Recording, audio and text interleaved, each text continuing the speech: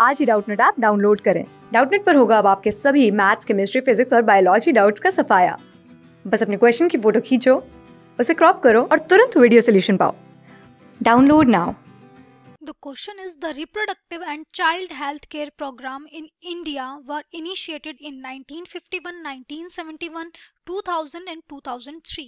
तो reproductive and child health care program India में कब स्टार्ट किए गए okay.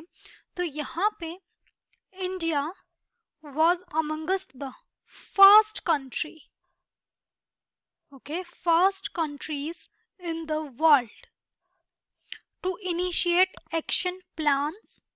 जहाँ पे हमारे जो एक्शन प्लान्स हैं, वो इनिशिएट किए गए एंड प्रोग्राम्स इनिशिएट किए गए एट नेशनल लेवल और किस लिए स्टार्ट किए गए थे? जो मेन एम था इन सॉरी जो मेन एम था इन एक्शन प्लान्स का, वो क्या था?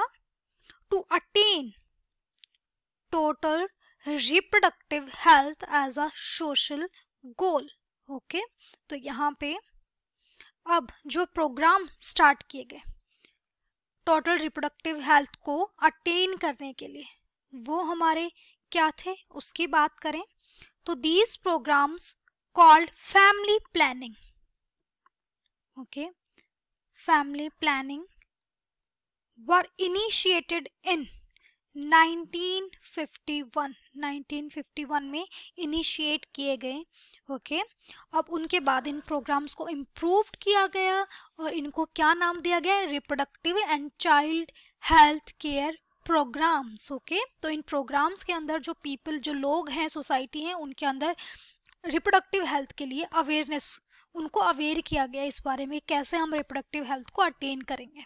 तो यहाँ पे ये प्रोग्राम्स इनिशिएट किए गए इन 1951 तो जो करेक्ट आंसर होगा वो यहाँ पे फ़र्स्ट होगा। क्लास सिक्स से ट्वेल्थ से लेके NEET I I T JEE mains और एडवांस के लेवल तक। दस मिलियन से ज़्यादा स्टूडेंट्स का भरोसा। आज ही डाउनलोड करें डाउट नेट आप या व्हाट्सअप कीजिए अपने डाउट्स आठ चार सौ चार सौ चार सौ पर।